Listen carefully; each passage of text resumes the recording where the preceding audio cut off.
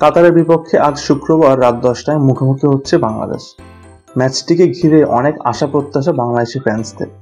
যদিও বাস্তবতা বলে কাতার এগিয়ে আছে অনেক বড় ব্যবধানে, কিন্তু হারার আগে হাঁটতে রাজি নন জামাল ভুঁইয়ারা। তিনি দেশে ফিরতে চান অন্তত একটি পয়েন্ট নিয়ে।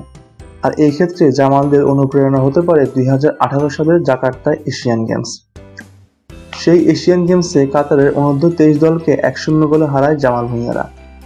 কাতারকে হারিয়ে প্রথমবারের মতো দ্বিতীয় রাউন্ডে উঠেছিল বাংলাদেশ। যদিও বিশ্বকাপ বাছাই এবং এশিয়ান গেমস এক না, তারপরও কাতারের বিপক্ষে জয় মানেই অন্যরকম এক প্রাপ্তি। সেই মধুর স্মৃতিটাই হতে পারে জামালদের অনুপ্রেরণা। সেই ম্যাচটিতে জামাল ভুঁইয়া তিরানব্বই মিনিটে করা গোলে কাতারকে স্তব্ধ করে দিয়েছিল বাংলাদেশ। সেই জামালই আজ নেতৃত্ব দিবেন বাংলাদেশকে। শক্তিতে দুই দলের অনেক পার্থক্য।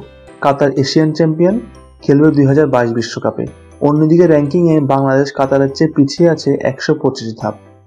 কাজেই কাতারের যে অসীম এক শক্তিশালী দল, তা নিঃসন্দেহে বলা যায়।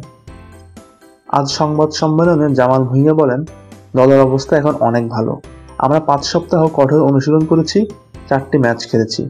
তাই আমাদের ফিটনেস লেভেল এখন খুবই ভালো। আমরা সবাই ফিটনেস নিয়ে সন্তুষ্ট। কাতারে গিয়ে দুটি প্রস্তুতি ম্যাচ খেলেছে বাংলাদেশ।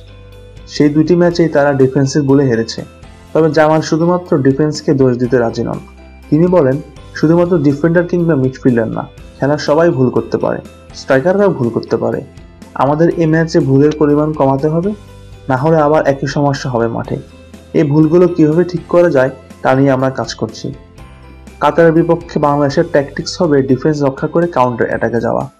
এই ক্ষেত্রে গুরুত্বপূর্ণ ভূমিকা রাখতে হবে জামাল ভূঁইয়াকে এ প্রসঙ্গে জামাল বলেন, মাঠে আমরা সবাই একসাথে কাজ করব, একসাথে ডিফেন্স করব এবং একসাথে অ্যাটাকে যাব।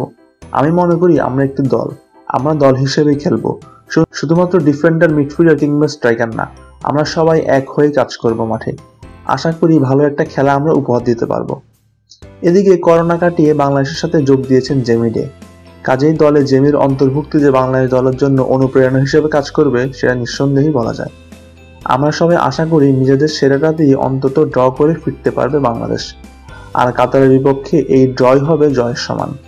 এই প্রত্যাশায় শেষ করছি আজকে। ধন্যবাদ সবাইকে।